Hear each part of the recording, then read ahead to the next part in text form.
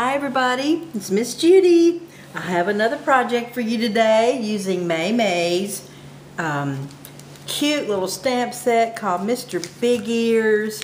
This is her first stamp set that she has created and um, her uh, little company, May May made it. The stamps are called Impressions and this is Mr. Big Ears and he is just so cute. He's got lots of little Easter um, sentiments, um, different little fonts with it, funky fonts and funny fonts, and um, an Easter basket, a bucket with a big-eared rabbit out of it, um, eggs, uh, Mr. Big Ears, um, there's spring in his step, and I used that one on my card that I did on my other video.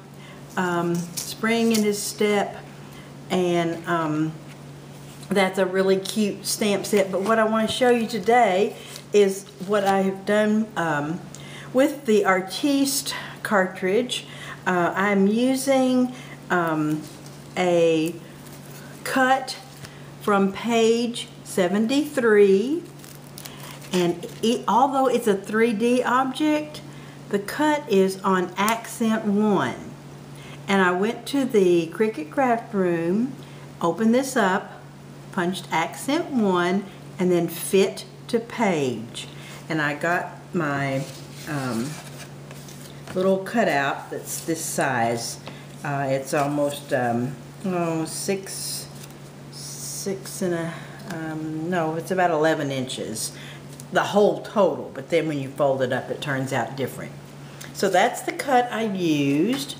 Then I also used uh, accent 3 shift. I used the grass that is on here and I just cut out some um, about one inch tall and then I did several strips and cut it the way I wanted it to fit onto my little object. But um, and then I used May May's Easter eggs. She has four different designs and what I did was take some of the designs and I put them on a piece of white paper and just randomly stamped and did some glittering which I think adds a little bit of fun to it. And then I'm using I uh, did four different sections and I'm using those on my um, craft.